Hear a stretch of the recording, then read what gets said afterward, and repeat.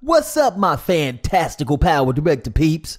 Today, I'm going to show all of you lovely Power Director peeps how to create voiceovers with Power Director.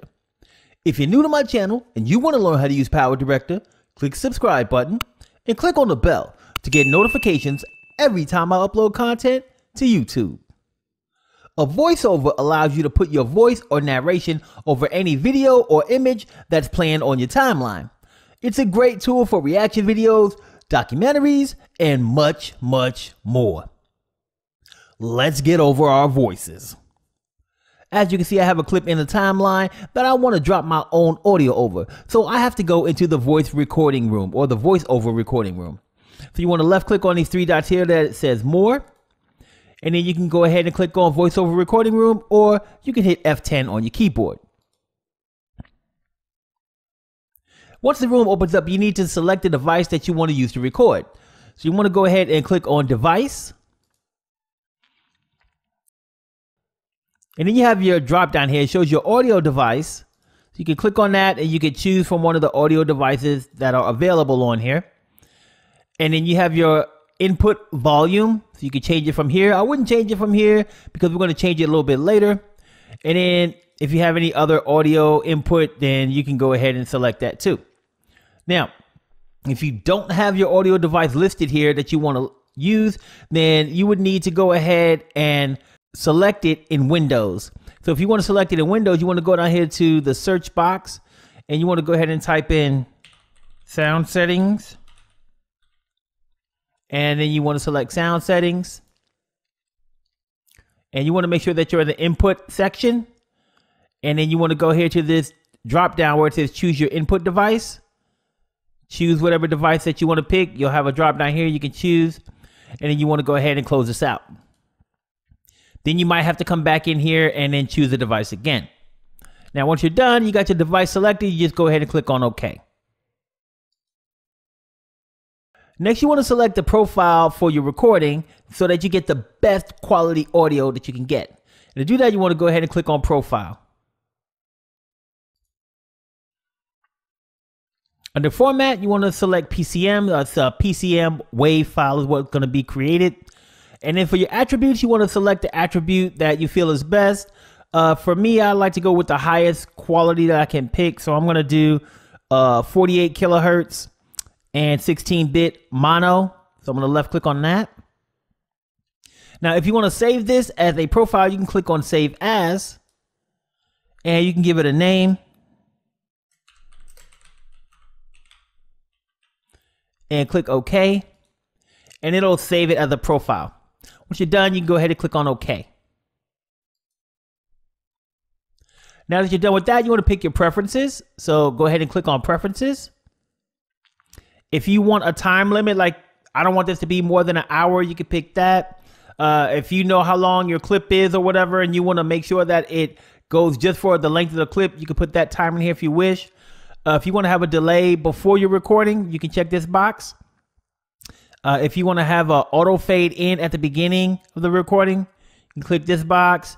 You also have your auto fade out at the beginning that you can, or at the end that you can choose by selecting this box. I'm going to leave everything like it is for now and go ahead and click on OK. Next thing that you want to do is select whether you want to mute all the tracks while you're recording. So if you have audio in any of the other tracks and you don't want them to come through while you're recording, it'll still come through later when you play it back, when you play back your timeline. But if you don't want to hear all that other stuff while you're recording, which I recommend, you can go ahead and click on mute all tracks when recording.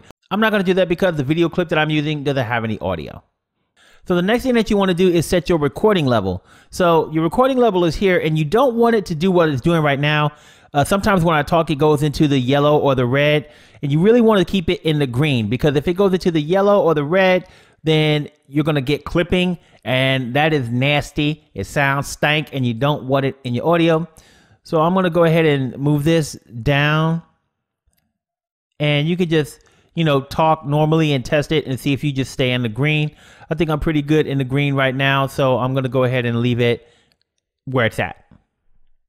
Now here at the beginning, you have a fade in. So if you want to fade in to the recording, you can select that, like hit record, and then you want to fade in, and it'll go up to 48. If you want to fade out, then you can go ahead and fade it out like that. And then once everything's all set up, you go ahead and click on the record button when you're ready. And you get this pop-up box here. It is basically asking you where you want to place the recorded audio. So you can place it on uh, the different tracks that are available right now, track one, two, and three. You can override a selected track. I'm just going to go ahead and place it uh, below track one. And I'm good there. And I'll go ahead and click on OK. As you can tell from the cell phone being used, this footage is older than your grandmother's back fat. The individual seems to be having a pleasant conversation with a colleague, friend, aggressive telemarketer, or an automobile warranty person. In any case, this conversation will most likely end badly for our friend, as scams always lead to a loss of clams. Goodbye, Benjamins.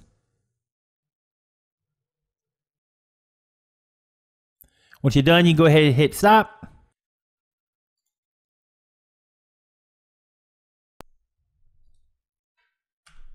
And you can play it back and see what it sounds like.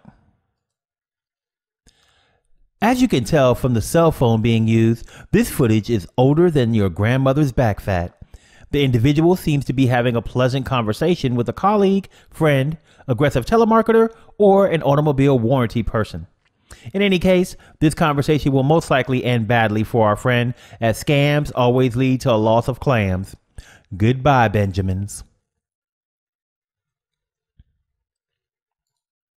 That voice sounds lovely. If you like what you see, I'll leave some links to my Power Director in the video description. I know you want more Power Director love, so be sure to click on these videos to watch more of my content and smash my cartoon face to subscribe. Don't forget to drop me a comment and a like down below.